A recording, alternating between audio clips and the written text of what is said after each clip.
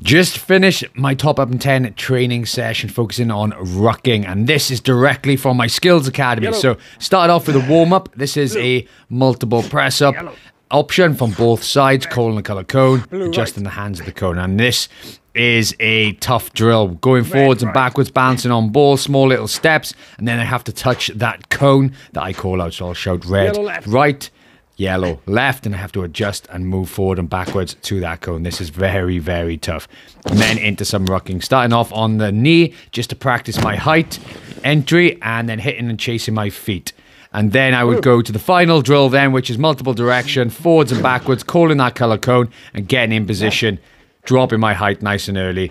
And yeah, just pure repetition on this, taking my time ensuring my height is correct when entering the ruck. But yeah, these are the type of sessions that in my skills academy. So make sure you check that out. Click the link in my bio and join the squad.